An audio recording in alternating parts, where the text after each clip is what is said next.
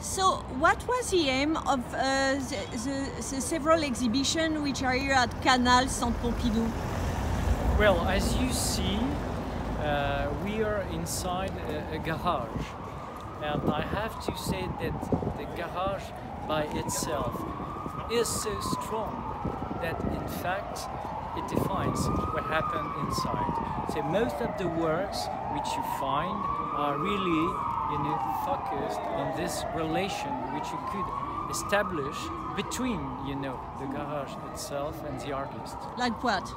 Like, for example, the main Jean Tinguely, you know, Tinguely, which you find when you get inside the building is definitely as a ceremony, as a kermesse, if you want, of, you know, the, the industrial culture when you follow the, the space, you know, when you get inside, you know, some spaces, we tried with some works in metal to reconstruct the history of sculpture from the beginning of the century till today. So Rauschenberg, but Calder, but Martin Kersels, but many others. So something which we've never done before. In another space, what do you see? You see the Déesse by Gabriel Orozco.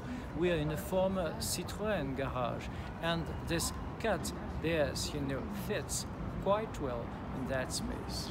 Yes, and there's a lot of precious work in this space, which is uh, a bit like a, a storage, right?